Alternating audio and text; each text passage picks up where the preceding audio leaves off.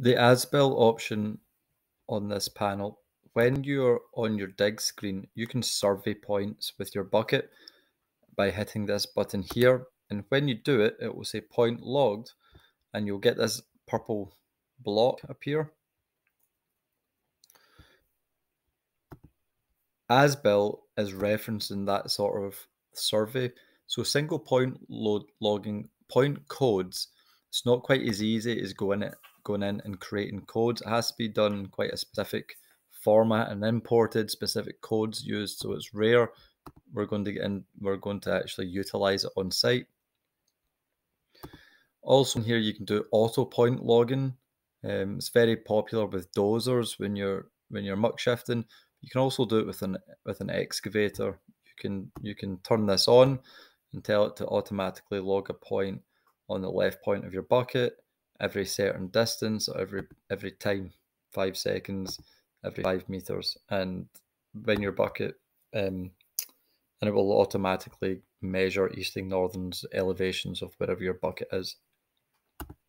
And then also in as built, show points for um, all. So if there's lots of machines all talking to one another on site via ConX, you can see all the surveyed points um, or just your machine. Basically, what you're telling is just show me the purple blocks for my machine. Now, the surveyed points to get to hide them, basically, you need to go into this data management folder. When you start surveying, when you click in this folder down the bottom,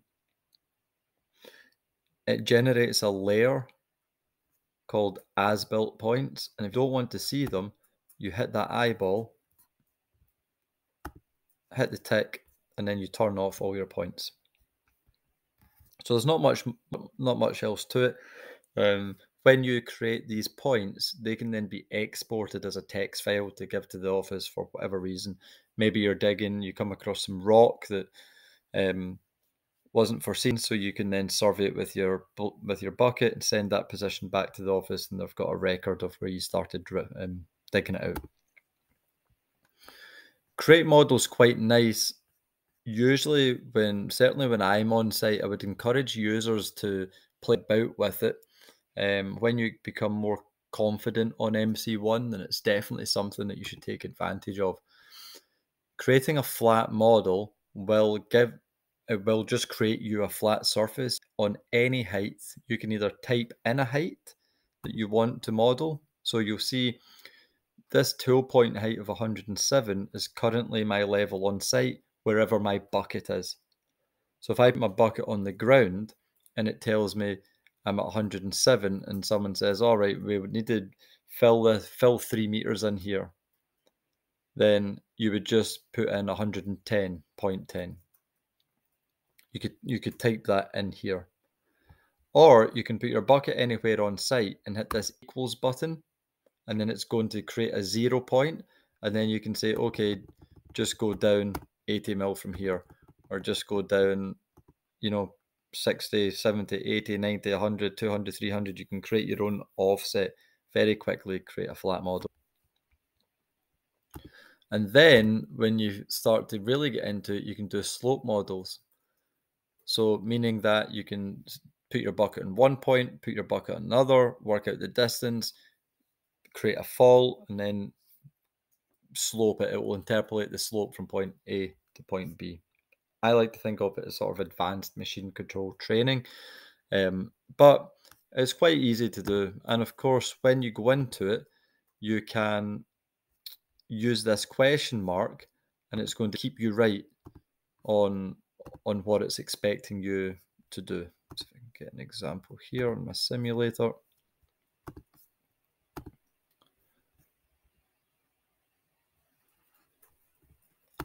So it is quite they're very very good functions when you start getting into them.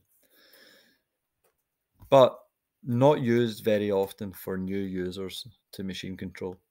Now tool is tool is where all your buckets are imported into the system. So our fitters our engineers will do this at point of calibration but um, you cannot add buckets very easily in here. And to do that all you would have to do to start is click this plus button down the bottom.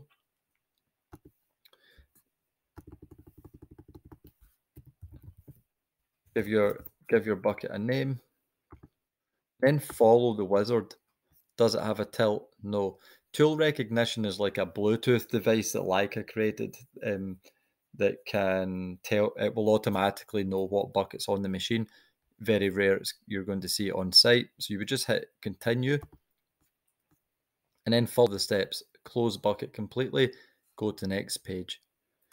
When you follow these steps, it's vital that you close your bucket and open your bucket quite slowly. Slow, gradual close. If you do it too fast, the calibration will mess up. Bucket length, right? Okay, what is the bucket length? Well, let's use the question mark. Click on it, go in here, it's going to show you. Measure first pin down to the edge of the bucket, and so on. It's really easy to, to add buckets to this. When you go in to your tool folder, there's some nice hidden settings in here. So notice it says tolerances. When when this is talking about tolerances, it is how quick do you want the screen to go red for cut and blue for fill. So see if that says height tolerance one meter. That means this here is going to be red for a whole meter. Okay. So a lot of the time you want to shorten that. Imagine you're you're digging and it's just red for that whole time. That that meter could could be 15, 20 minutes, it could be an hour, depending on what you're digging out. So if you just put that to if you you can just click on it and delete it, put it to maybe um, 300 mil. Then it's only going to go red when you're getting close to your level. So it, it automatically triggers your brain. It's tricking your brain. Oh, it's went red. It's game time. Because you know when it gets to within 20 or 30 mil, it's going to go green. And then that's your dig level. And it's the same with, with blue. There's no need for it to be on a meter spe- especially in sort of house building, civils, sort of medium sized earthworks job, you want to create a smaller point of color change. And that way when you're when you're working away, as soon as the color changes, it's engage time. Also, if you go into tool and tolerances, if you click back into one of these, um, always just let's just use height. You'll see beep down the bottom. If you click in here, put your volume to medium or high, and say um, red on or even green on, it's going to be like what a receiver would do for rotating laser. Beep, beep, beep, beep, beep, beep, beep, beep, beep, beep, beep, beep, constant beep when you get to green. Um, some people like it. Most people I speak to hate it. There's enough beeping going on in excavators, but it's good to know there is volume options hidden in here in the tool section. And machines, you never want to go into. This is where the calibrations are, are stored for the excavator. Generally, don't go in there because there's a chance you can mess something up. So project set, don't need to go in there. Model options, you really just need to go in once, once you turn your triangles off, surface shading on, texts on or off. And then settings in here, machine image on or off, elevation on, make sure it's on white or black screen, whatever you prefer. Cut fill in both corners, and then two decimal places. And then once you're done there, you can do everything else from this dig screen bucket change. So it's telling me I've got bucket one selected. If you had 600, 400, 1200, ditching, whatever, you you need to go in here and choose whatever bucket you're working. It's vital that you have the correct bucket selected. This icon in here, this is where all your data is kept. So if the engineering team provide a DXF, a lot of the time you get a DXF and an XML. Generally, the XML is the surface, what actually gives you the heights, and then the DXF is added features. So if I hit this down arrow in the DXF, you can see I've got um, a road, a 500 mil offset for the, the road edge, the road channels. So if I turn these off, see I don't have my line work now, I've just got the model. So if I go back in here, again, I'm not changing the XML, I'm just looking at the DXF.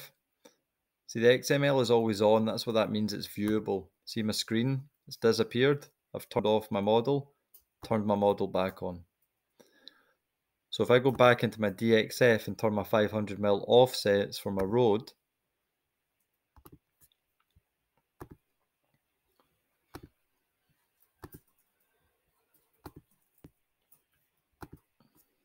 I've got that offset line again.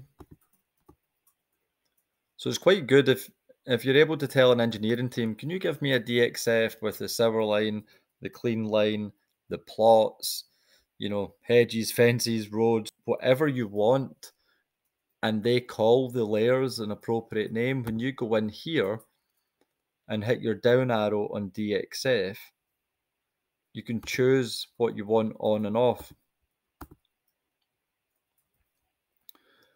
When you start messing about with here, so see if I turn that off and then back on, Notice on the right hand side, this arrow is no longer yellow. Look at the XML. XML is on just now. If I turn that off and then back on, this one is no longer at yellow. Now that means it's no longer active. So I'm going to be able to view these, but my height and my side have no active reference. So it simply won't allow me to go back into it. It's telling me you need to select a reference model when it talks about a reference model, it's what do you want your cut and fill to reference? So I have to turn that on and then I'm going to get my cut and fill reference stat. So if I had three models in the same job, I wanted to see them all, but I wanted my bucket to reference just one of them. You would choose them in here. You'd say, okay, well, I want to use my bucket heights to this now. I want my bucket height to reference this model. So it's quite nice being able to control it, control it all in here. But it is important if you, as soon as you click on anything in here, it will catch everyone out. Always remember to turn these back on. This guy here is the most used button on the screen when you when you start learning how to use it. It's your offset. Side offset, height offset. And it's an offset to what your current dig is. So you can put your bucket anywhere on site, hit the equal sign, and it zeroes your dig. So everything is per everything is zero. So let's say I was doing a compound. I found the bit that I wanted it to level off to. I put my bucket on it. I hit equals, Anywhere I now track to and put my bucket, when it goes green and says zero, is going to be the level wherever I hit equals. I could put my bucket on top of a peg. Someone says to me, we need to dig down three meters below the top of that peg. Obviously, without damage, damaging it, put my bucket roughly on top of it, hit equals. Whatever number appears in there, I can click on here and add three meters. So if I wanted to go down, I would say, okay, let's go 3.1. To make it minus, you hit the plus and minus button down there. Now I've just created myself a three meter dig from wherever my bucket is. When I'm on the dig screen, it always reminds me, see this yellow box that says offset? That means there is an offset applied. So if you're working in the machine and you think, oh, there's something not right with my heights here, look here. Oh, there's an offset applied. That will be why. Click in here and you can hit zero and it just gets rid of it and takes you back to your model reference. This is your design, your surface height.